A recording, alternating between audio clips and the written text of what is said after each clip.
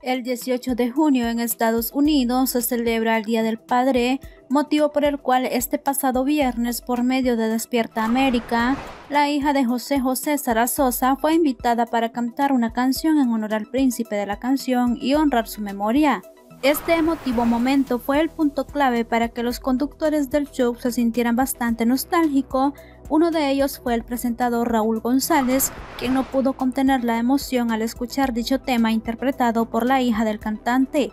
El Día del Padre puede ser una celebración muy alegre para muchas personas, sin embargo para otros es un día nostálgico.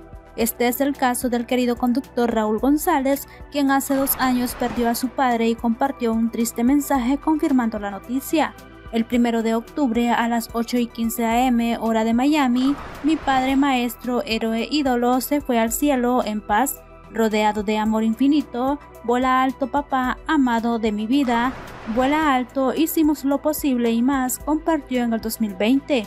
Sara interpretó el tema Te extraño de Armando Manzanero. Dicha interpretación hizo a los conductores sentir una melancolía muy fuerte. En este caso, Raúl González se vio bastante afectado al escuchar dicho tema en vivo, por lo cual se notó bastante su reacción.